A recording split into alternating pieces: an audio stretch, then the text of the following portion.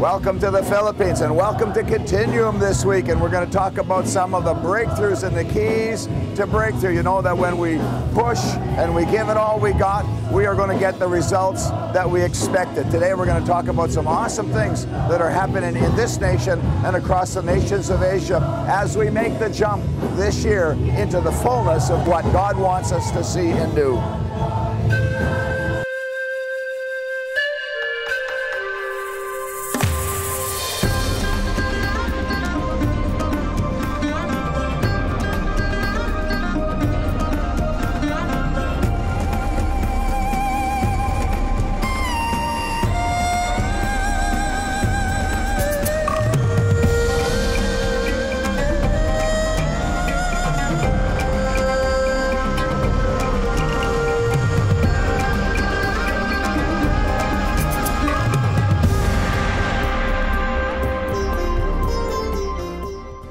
In the Philippines today. You're watching Continuum, and I'm with Rich Conte again, our apostolic leader of uh, Victory Churches of Asia in Manila. And uh, it's good to be together with you, Rich. And we've just been doing a whole bunch of stuff, eh? Yeah. Conference, uh, your seventh anniversary Yep. of the Manila Church, Fairview Church. And uh, what else do we do? Some leadership training, and uh, just generally getting together and hanging out. That's the best part of it all.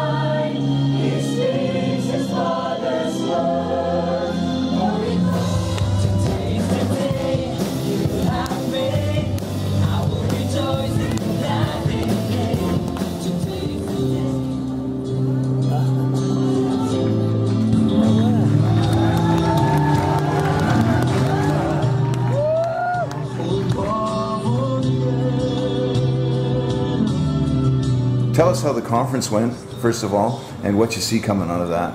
Yeah, the conference was uh, just amazing, Al. Uh, it was the, really the best conference we ever had, and I'm not just saying that. It really Mm-hmm. Was. It was just top notch, and uh, all of our guys uh, they were working hard, you know, to make the thing uh, uh, come across the way it did, and there was a tremendous anointing, tremendous anointing, tremendous enthusiasm, tremendous excitement. Yeah. Um, just uh, it was the best ever. It was- Yeah. yeah, Yeah. amazing. it really was. It really Yeah. was. I mean, you guys are getting good at it too, and there's no doubt about it. You know, as we, we do more conferences, of course, everybody gets uh, Gets a little better every yeah, time. sure, yeah. more efficient and stuff, and that's really exciting.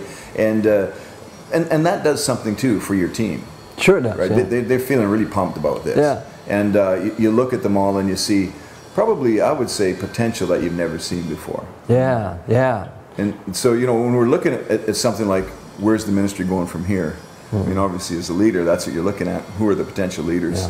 And uh, so, so how do you feel about, about your leadership at this point in the game?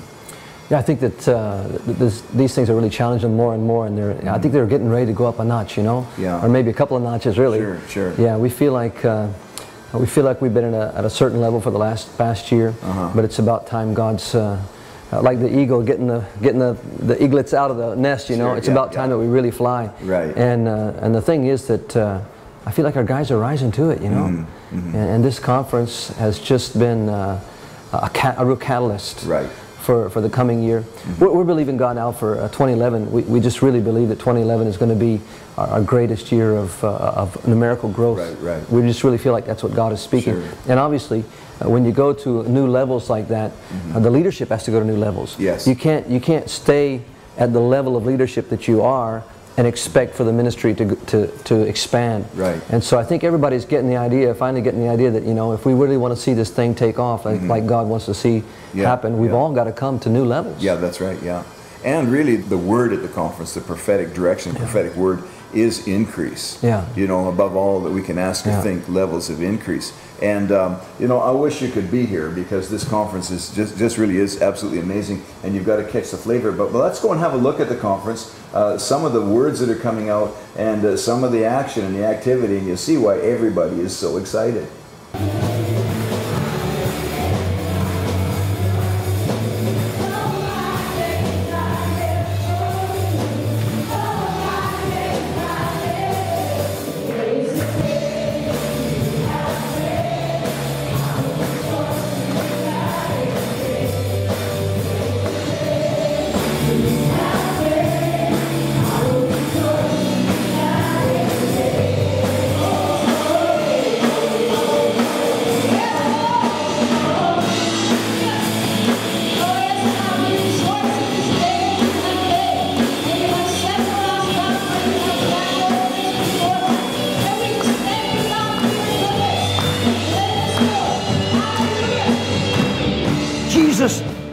Makes us come together in unity and harmony, gives us a love one for another.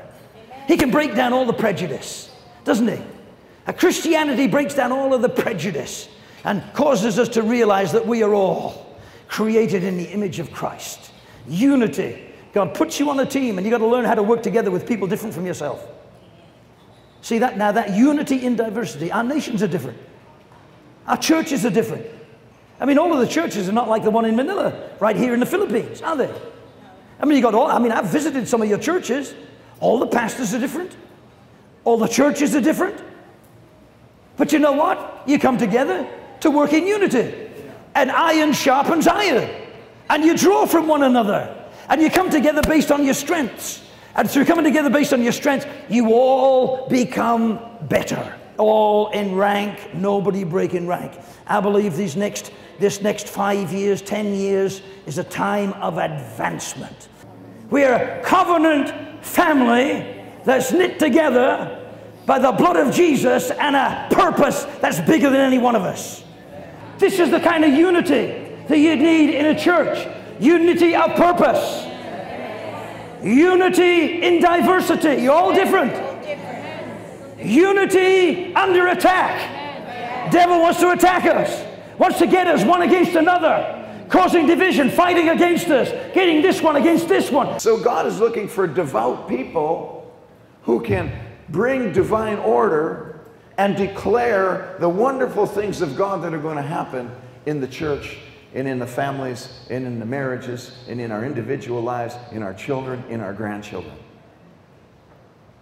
I'm talking about devotion. It makes us people that God can trust, that God can use. And He looks, it says, His eyes to and fro throughout the whole earth to see if there's a man that walks uprightly before Him that He can show His power through. He can trust His power with a devout man, with a devout woman.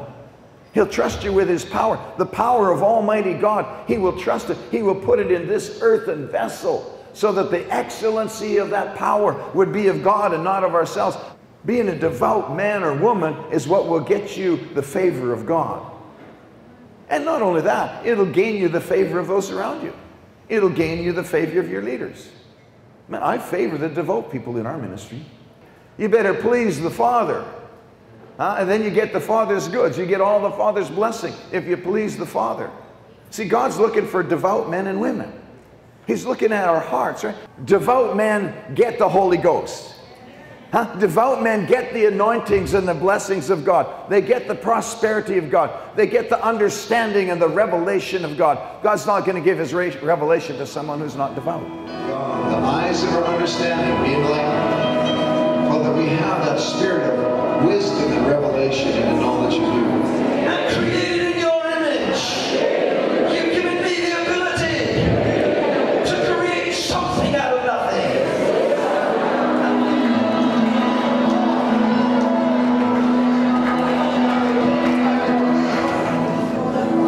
Jesus' name. Thank you, Lord. Thank you, Lord. Continuum Media is online to get you connected with your Great Commission destiny. Subscribe to our channels on YouTube and Tangle. Add us up on Facebook. Subscribe to our podcasts. And of course, check out our website, continuummedia.com. Watch episodes, catch up with the latest missions news around Asia, download tons of missions resources like Dr. Al's CLR training materials, and get our monthly newsletter right in your inbox and find out how you can get involved in God's Great Commission. Stay connected with us, and we'll take you there. As well as the conference, we've been uh, participating in and really enjoying the, uh, the church anniversary. Rich, seven years now. And of course, we love to reminisce and look back at when you first planted the church, and we were here with a team from Thailand. And, yeah. and I tell you, you know, it was life changing for us yeah. to see that opening service with 450 people. Um, you know, after you guys did so much work in the theater, and you're still in the same theater today. Yeah, but five services now. Yeah, now five services, yeah. and they're packed. I mean, we were to the rafters here, and, uh, and so there is an anticipation. I got to say, you know, like as a leader, you deal with stuff and you deal with the nitty gritty on the day to day basis. But when you hit a conference like this, that is all in a sense forgotten even and and, and you see the focus yeah. right of your leaders and yeah. they're turning towards something bigger and better and and uh, let's talk about what we see in the future for the, for the for the local church first, and then for the ministry as a whole. Yeah. Well, we'd like to see our church. Um, uh, we, we have five services right now. We're believe in God by the end of December that every one of those services will be filled to capacity. I'm going to be having a meeting in two weeks with all of our ushers and, and children's ministry and marshals guys and saying, look, you saw how the anniversary was. It's going to be like that every Sunday. Right. So you've got to be ready. Yeah. And of course, that involves as well uh, connecting people in the cell groups, small groups. I think we've got about 200 cell groups now. We need, that needs to be four or 500 Right. cell groups to, Uh-huh. to really connect people. We, we want to. We don't want to just have crowds. We want to make disciples. Certainly. We want people's lives to be changed. And so, uh, again, all of your leaders have got to rise up to, to rise that to. Uh, uh, to handle larger numbers of people and be sure that people are really being ministered to.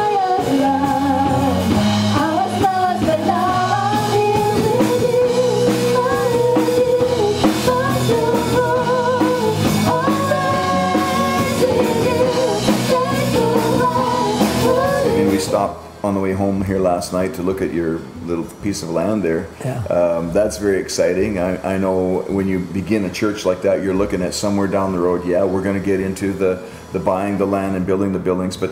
Uh, and as you say, by December, you guys would be busting at the seams, Yeah. and that's a very uh, solid and reasonable faith goal and prediction. And um, there is coming a time here where you're going to need to, to really step out. And so tell us what, what your options are for land. What's it like in the Philippines, in Manila, to buy a piece of land and, and build a church? Yeah, what's su- surprising is that in Manila, the, the land, they said at one time land was more expensive than in New York City. Wow. You know, we're in a third world country. Yeah. Uh, so you wouldn't think that land would be that expensive.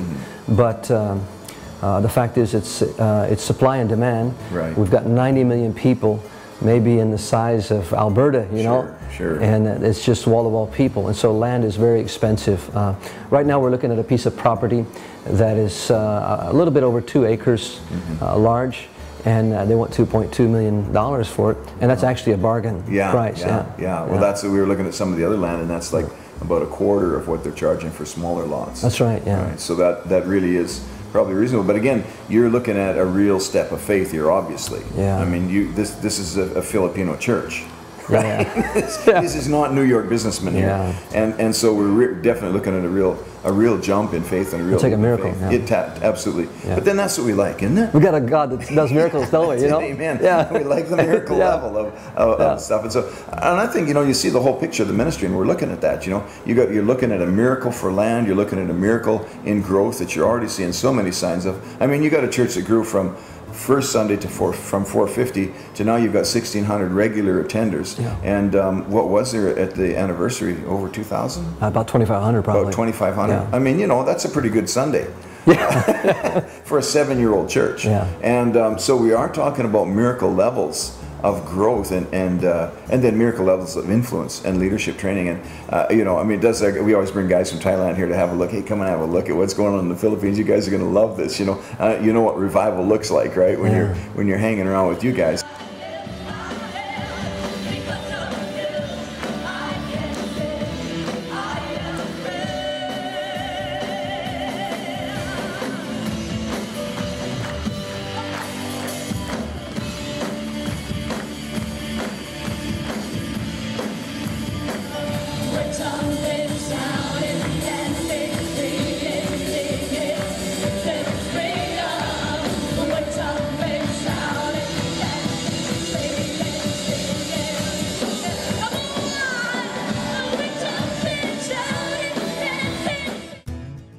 Yeah, it was really neat. Uh, a couple of weeks ago, I had a meeting with all of our leaders, and uh, uh, again, we're just recasting the vision for a, for a church of 10,000. And, and one of our leaders spoke up, actually, the worship leader spoke up.